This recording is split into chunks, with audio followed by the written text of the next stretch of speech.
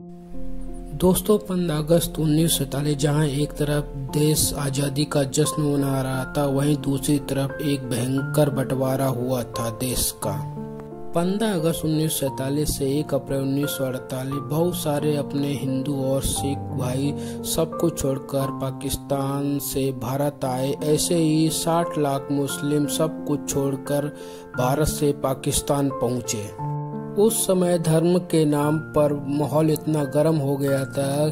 दस लाख लोगों को अपनी जान गंवानी पड़ी। आज़ादी से 48 घंटे पहले, यानी 13 अगस्त उन्नीस लाहौर से एक अमृतसर के लिए ट्रेन रवाना होती है। जब ये ट्रेन अमृतसर पहुँचती है तो उसमें एक भी इंसान ज़िंदा नहीं ज़िंदा नहीं बचता है और इस तरह एक नया मौत का सिलसिला चालू हो जाता है।